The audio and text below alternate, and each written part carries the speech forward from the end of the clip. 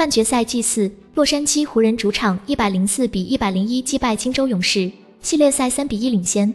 赛后，勒布朗比詹姆斯在场边接受采访时称赞队友安东尼比戴维斯说：“他是联盟最佳防守球员，我们相信 AD 可以防住这个联盟的任何人。”比赛最后三十秒，勇士一百零一比一百零二落后。斯蒂芬比库里面对戴维斯的单防连续投丢中距离和三分，戴维斯用防守为湖人拿下胜利。本场比赛，戴维斯十六投十中，得到二十三分、十五个篮板、两次助攻、三次抢断。他还在最后时刻抢断了德雷蒙德·比格林的传球，这是戴维斯今年季后赛第一次连续两场比赛得到二十加。本场比赛，朗尼·比沃克成为骑兵，他在第四节得到十五分，帮助湖人逆转。詹姆斯说。我一直告诉他，我说：“朗尼，随时准备好，我们会在某个时候需要你。